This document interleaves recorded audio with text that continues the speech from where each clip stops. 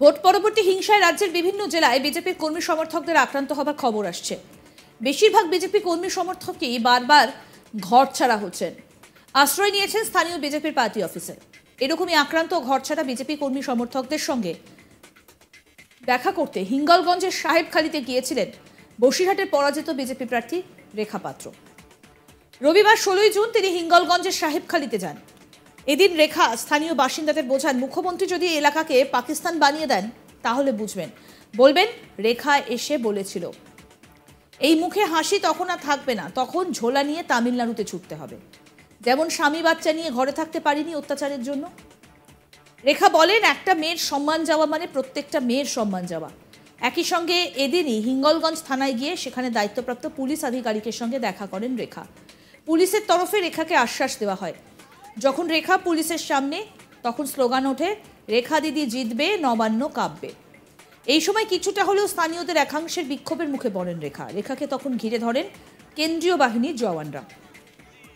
এরপরই রেখাপাত্র গাড়িতে উঠে এদিন হিঙ্গলগঞ্জ থানায় গিয়ে কর্তব্যরত পুলিশের সঙ্গেও কথা বলেন। পরে পুলিশের তরফে তাকে আশ্বাস দেওয়া হলে কলকাতার উদ্দেশ্যে রওনা দেন রেখাপাত্র চুপ করে থাকলে পেয়ে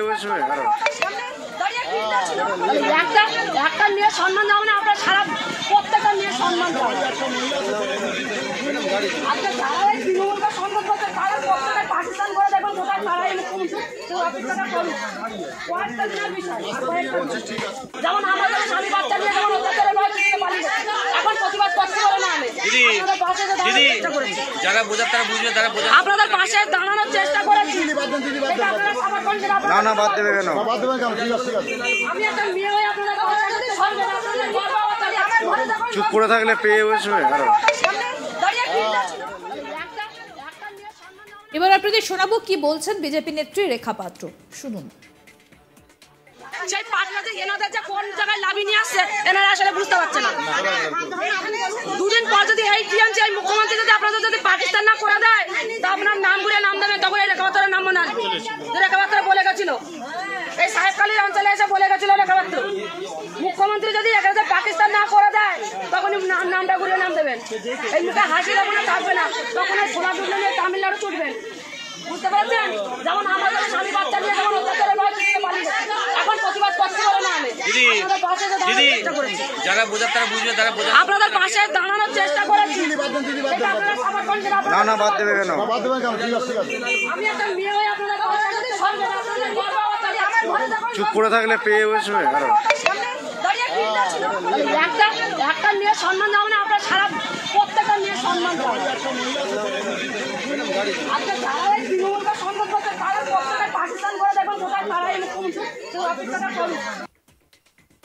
আমাদের প্রতিনিধি তপন মণ্ডল কি প্রতিবেদন তুলে ধরেছেন? শোনাবো এবার। বসিরহাট লোকসভা কেন্দ্রে পরাজিত হওয়ার পর থেকে তেমনভাবে বসিরহাটের বিজেপি প্রার্থী রেখাপাত্রকে দেখা পাওয়া যাচ্ছিল না। তবে সম্প্রতি ভোট পরবর্তী হিংসায় বিজেপি কর্মীদের আক্রান্ত হওয়ার ঘটনা প্রকাশ্যে এসছে বেশ কিছু এলাকায়। যার মধ্যে সন্দেশখালিতে আক্রান্ত হওয়ার ঘটনা যেমন সামনে এসেছে, তেমনি হিঙ্গলগঞ্জ এলাকাতেও বিজেপি নেতা কর্মীরা তাদের পরিবার আক্রান্ত হয়েছে। শাসক দল আশ্রিত দুষ্কৃতীদের দ্বারা এটা কিন্তু বেশ কয়েকবার সামনে এসেছে। এবং সম্প্রতি আমরা দেখেছিলাম যে রেখা পাত্র, যিনি বসিরহাট লোকসভা কেন্দ্রের পরাজিত প্রার্থী। পরাজিত হওয়ার পর থেকে যার দেখা পাওয়া যাচ্ছিল না, সম্প্রতি তিনি গিয়েছিলেন রাজবাড়িতে এবং গতকাল, অর্থাৎ রবিবার, তিনি গিয়েছিলেন সন্দেশখালীর পাশের পার্শ্ববর্তী যে ব্লক, অর্থাৎ হিঙ্গলগঞ্জ ব্লক, সেই হিঙ্গলগঞ্জের সাহেবখালী এলাকায়। সেখানে গিয়ে যারা আক্রান্ত হয়েছে, অর্থাৎ যারা শাসক দলাশ্রিত দুষ্কৃতীদের দ্বারা আক্রান্ত হয়েছেন, বিজেপি, সমস্ত বিজেপির পরিবার, সেই মানুষদের সঙ্গে দেখা করেন এবং দেখা করার পর কিন্তু তিনি হিঙ্গলগঞ্জ যে থানা আছে, সেই থানার আধিকারিক যিনি আছেন তার সঙ্গে দেখা করেন এবং প্রয়োজনীয় ব্যবস্থা নেওয়ার জন্য তিনি তাদেরকে অনুরোধ করেন এবং পুলিশের তরফ থেকেও কিন্তু প্রয়োজনীয় ব্যবস্থা নেওয়ার আশ্বাস দেওয়ার পর তিনি কিন্তু থানা থেকে কলকাতার উদ্দেশ্যে রওনা হন। তবে সম্প্রতি যে জিনিসটা দেখা যাচ্ছে যে তিনি যেন কিছুটা হলেও মিডিয়াকে বর্জন করতে চাইছেন, তিনি সোশ্যাল মিডিয়াতে এক প্রকার বলা যায় যে মেন স্ট্রিম মিডিয়া সেই মেন স্ট্রিম মিডিয়াকে কিন্তু তিনি কোনো রকমভাবেই খবর জানাতে চাইছেন না এবং তার যে ফেসবুক পেজ বেশ কয়েকটি একটি ফেসবুক পেজ তার নামে খোলা হয়েছে এবং সেখানেই তিনি সোশ্যাল মিডিয়াতে প্রচারের মাধ্যমে ভেসে থাকতে চাইছেন। অর্থাৎ তিনি যে এই সন্দেশখালী এবং হিঙ্গলগঞ্জের আক্রান্ত পরিবারদের কাছে যাচ্ছেন, সেটা কিন্তু তিনি মেন স্ট্রিম মিডিয়াদের জানাচ্ছেন না এবং তিনি কখন যাচ্ছেন, কী বৃত্তান্ত, সেটাও কিন্তু তিনি মেন স্ট্রিম মিডিয়া যারা আছে বা মিডিয়ার যারা কর্মী আছে, তাদেরকে জানানোর প্রয়োজন মনে করছেন না এবং যতটুকু মনে হচ্ছে, তিনি সোশ্যাল মিডিয়াতে ভেসে থাকতে চাইছেন এবং সে কারণে তার নামে বেশ কয়েকটি সোশ্যাল মিডিয়ার পেজ খোলা হয়েছে এবং সেই পেজেই কিন্তু তাকে দেখা যাচ্ছে যে তিনি হঠাৎ হঠাৎ হিঙ্গলগঞ্জে আসছেন বা সন্দেশখালী এলাকায় যাচ্ছেন এবং সেটা কিন্তু আমরা যখন সংবাদ মাধ্যমের কর্মীরা তাকে তার কাছে জানার চেষ্টা করছি বা তার কাছ থেকে কোনো ভিডিও ছবি প্রকার মানে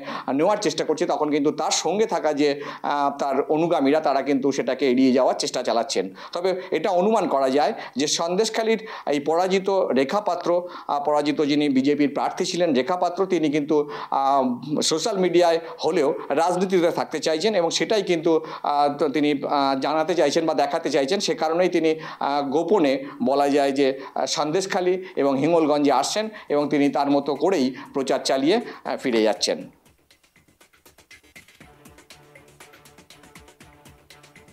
বসিরহাট লোকসভায় বিজেপির রেখা পাত্রকে হারিয়ে জয়ী হয়েছেন টিএমসির হাজি নুরুল ইসলাম। প্রায় সাড়ে তিন লক্ষ ভোটে হেরেছেন রেখা পাত্র। তাও লড়াই ছাড়ছেন না রেখা পাত্র বা শুভেন্দু অধিকারী কেউই।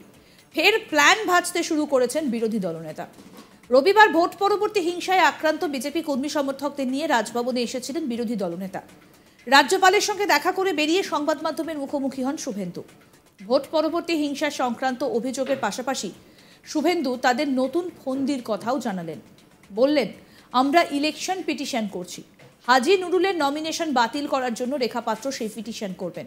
যে গ্রাউন্ডে দেবাশিস ধরের বাতিল হয়েছে, ঠিক সেই গ্রাউন্ডেই হাজি নুরুল ইসলামের নমিনেশনও বাতিল করতে হবে। বিরোধী দলনেতার দাবি, আইনে তেমনটাই লেখা আছে। পাশাপাশি জানালেন, তারা এই দাবিও জানিয়েছেন যাতে ডায়মন্ড হারবার জয়নগর আর ঘাটালের সিসিটিভি ফুটেজ ইভিএমগুলোর তদন্ত করা হয়। তার জন্য এই CCTV footage EVM machine central forensic ল্যাবে পাঠানোর দাবিও জানাচ্ছেন। এবার শোনাবো কি বলছেন বিরোধী দলনেতা শুভেন্দু অধিকারী। শুনুন। আমরা ইলেকশন পিটিশন করছি। তাতে মাননীয় রেখা পাত্র করছে হাজি নুরুলের নমিনেশন বাতিল করার জন্য। যে গ্রাউন্ডে দেবাশিস ধরের বাতিল হয়েছে, সেই গ্রাউন্ডে হাজি নুরুলকে বাতিল করতে হবে, আইনে লেখা আছে। এ তো শুধু টাইম উইল স্পেক বাতিল তো হবেই। বাতিল তো করতে বাধ্য, হাজি নুরুলের নমিনেশন থাকে না, আইনে পরিষ্কার আছে। একই গ্রাউন্ডে আপনি দেবাশিস ধরের বাদ আর আমরা ডায়মন্ড হারবার জয়নগর আর আপনার ঘাটাল। সেখানে সিসিটিভি ফুটেজকে সেন্ট্রাল ফরেন্সিক ল্যাবে আমরা বলেছি ইভিএম মেশিনগুলো। দেখতে থাকুন আজ তাক বাংলার ইউটিউব চ্যানেল, সাবস্ক্রাইব করুন।